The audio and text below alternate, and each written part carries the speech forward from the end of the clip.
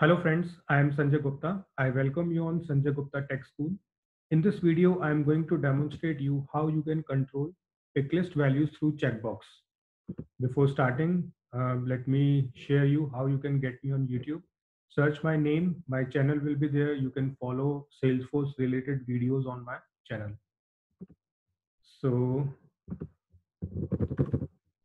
I'm opening custom objects so I have one existing object that is employee. On employee object, you can see I have one checkbox field that is select value and two pick list country and city, right?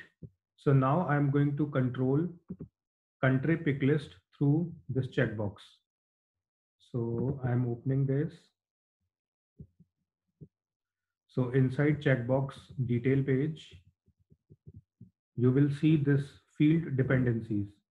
So click on new. So here you can see controlling field is uh, already selected as uh, select value. So this is a checkbox field. It will show other uh, fields also like city and country. So they can also become controlling field. But right now we are uh, using checkbox as controlling field and country as dependent field, right? Now I'm clicking on continue. So here you can see for checkbox, there are two options unchecked and checked. And for country, there are two options India, USA for both checked and unchecked. So for unchecked, I'm selecting India. For checked, I'm selecting USA.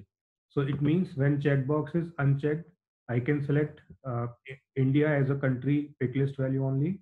And if checkbox is checked, then I will be able to select USA only. If we have more values in country pick list, then we can select uh, those values accordingly as per the requirement. Now I'm clicking on save.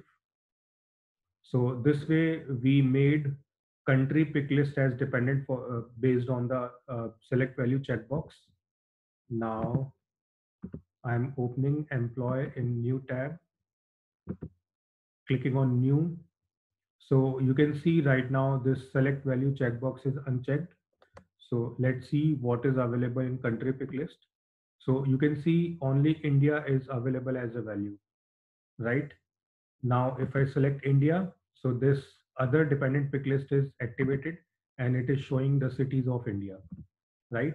Now, if I select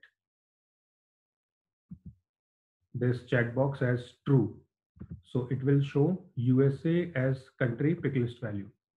So I hope you understood how we are managing uh, pick list values based on the checkbox. So checkbox is controlling field and this country pick list is the dependent field. Now, if I select USA from this country pick list, so USA related cities will be available in this city pick list. So in this scenario, select value is the controlling checkbox, then dependent is country, then country is again controlling for this city pick list. So this way we can uh, control fields uh, by making them controlling and dependent uh, on each other. So I hope you understood how I implemented this functionality. And later on, you can see which fields are dependent on a particular field. So if you open uh, like a checkbox field, so in inside field dependencies, you can see which fields are dependent on this checkbox, right? So this is all about controlling as checkbox and dependent as pick list. I hope you understood how this functionality is working. If you want to watch more related uh, Salesforce related videos, you can search me on YouTube. Thank you for watching this video.